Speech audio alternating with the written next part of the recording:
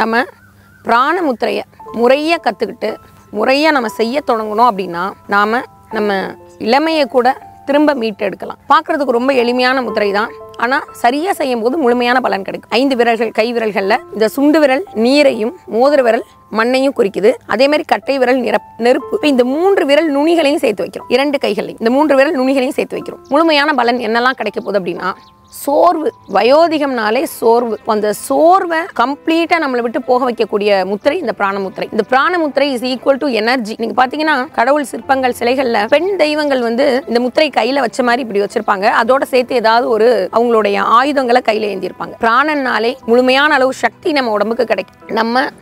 உடலிலும் மனதிலும் இருக்க சோர்வை போக்கி இது நம்மளுக்கு கம்ப்ளீட்டான எனர்ஜியை கொடுக்கக்கூடிய ரொம்ப எஃபெக்டிவான முத்திரை தான் இந்த பிராணமுத்திரை